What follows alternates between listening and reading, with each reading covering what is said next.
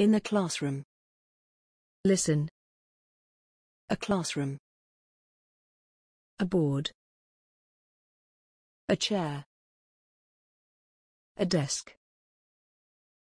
A door. A window.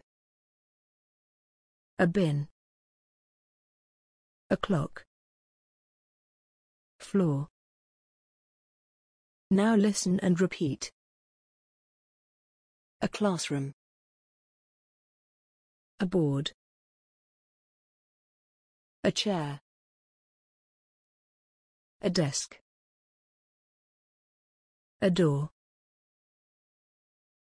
A window. A bin. A clock. Floor. Well done.